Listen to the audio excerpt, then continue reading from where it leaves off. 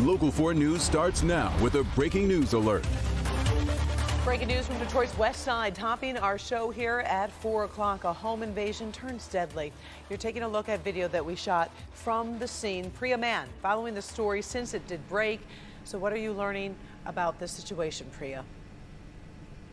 Well, Karen, it has been a very busy afternoon for Detroit police. They're investigating multiple scenes right now. Here's where the home invasion took place on Detroit's west side, where a woman was targeted, her teen brother shot and killed. Meanwhile, the guys who broke in, they took off in a vehicle, crashed a few blocks away. That's where police are investigating a second scene, and that intruder was stabbed and found dead.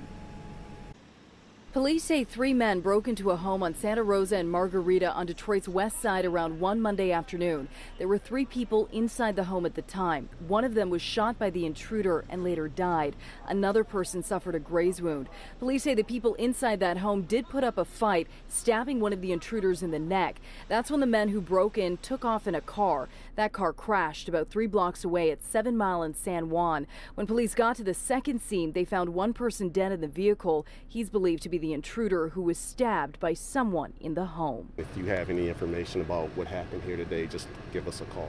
Do you think the other people in that vehicle took off on foot? Do you think there was a second vehicle involved? Are you looking for a second vehicle? We have no second vehicle involved in this incident at this time. We believe it was on foot.